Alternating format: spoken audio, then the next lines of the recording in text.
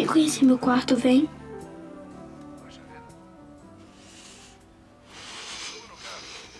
Alguns amigos querem conhecê-lo. Senhores, venham conhecer o famoso Jack Quinn. É um prazer, Quinn.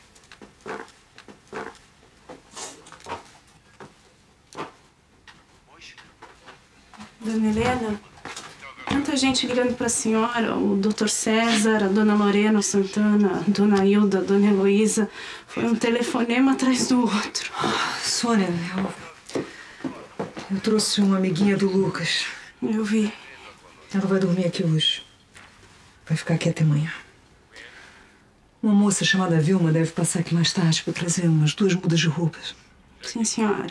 Pede pra Maria fazer um jantar bem gostosinho pros dois. Essas coisas que criança gosta: arroz, feijão, batata frita, bife. A senhora disse pra não dar batata frita pro Lucas até o fim de semana. Hoje pode. Hoje é exceção. Quem sabe uma saladinha também. Hum, Não sei se eles vão comer. Eu não sei o que essa menina gosta de comer, mas criança é tudo igual, não? Pede pra fazer um suco também. E pra senhora? Nada. Pelo menos por enquanto eu vou tomar um banho e dar uns telefonemas. A dona Hilda ia no médico com o seu Leandro. Ai, meu Deus do céu. Médico da Hilda, esqueci completamente. E a moça, hein, dona Helena? Que moça? A moça da bala perdida. Morreu. A televisão e o rádio já deram. 27 anos, dona Helena. Uma judiação. Sônia, eu não quero que se toque nesse assunto nessa casa.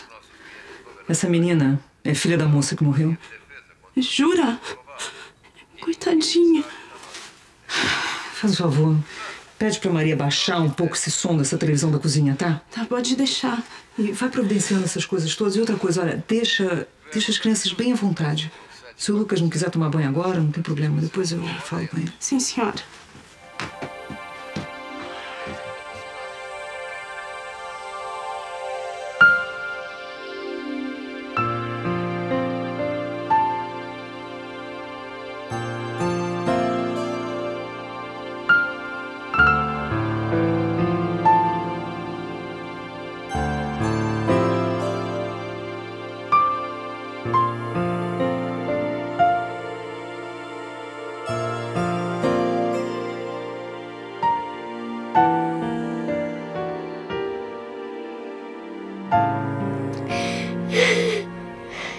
Ela morreu. Eu sei. Eu sabia que ia acontecer. Mas também pensei que era brincadeira do anjo. Porque o padre me disse que anjo é como criança. Meu pai, ele também tá ruim. Ele foi operado. Todo mundo tá falando que ele vai ficar bom. Mas eu não sei. E fui lá ainda. Ninguém me levou. Agora eu tô sem pai, sem mãe. Tem ninguém. Tem a sua avó. Não liga pra mim, nunca ligou. Tem a Vilma. A Vilma é legal, a Natália também. Mas elas têm os filhos delas pra cuidar.